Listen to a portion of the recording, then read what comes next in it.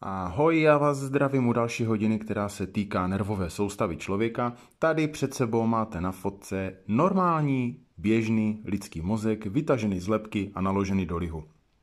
Takhle náš mozek doopravdy vypadá. Samozřejmě, že na Wikipedii nebo v různých e, odborných časopisech a tak dál, tam můžete najít daleko složitější rozdělení než normálně. Můžete si všimnout, že to má strašně moc částí, teď jsou zodpovědné za jiné věci a tak dál.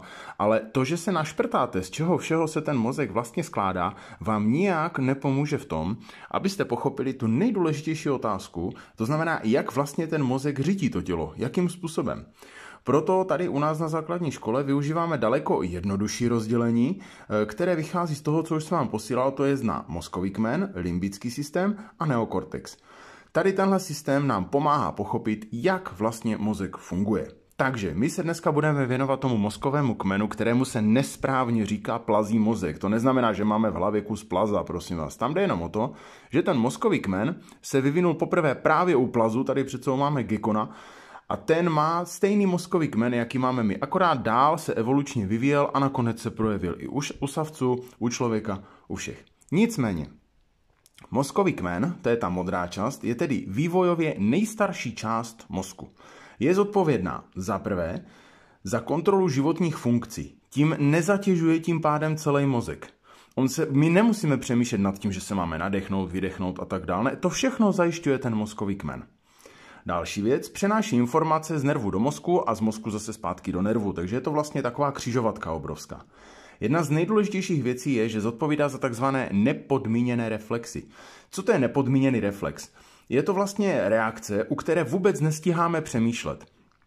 Může nám to zachránit život a jsou v důležité jenom v tu danou chvíli, když probíhají. V praxi, prosím vás, to jsou třeba ty pohyby, které si vůbec nepamatujete. Proč jsem škubl tou rukou, proč jsem pohnul tou hlavou.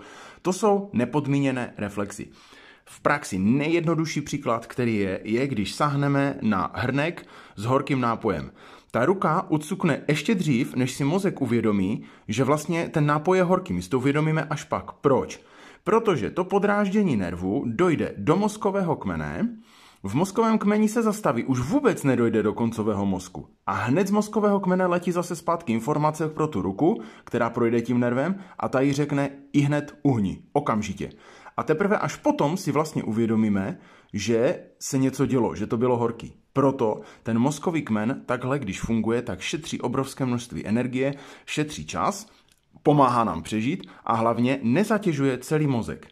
Protože mozek se dá velmi jednoduše unavit. On spotřebuje obrovské množství energie, potřebuje hodně vody. A mozkový kmen tím, co všechno vykonává, tak šetří tu energii, zajišťuje daleko rychlejší reakce a umožňuje, aby náš mozek fungoval bez problému a lépe.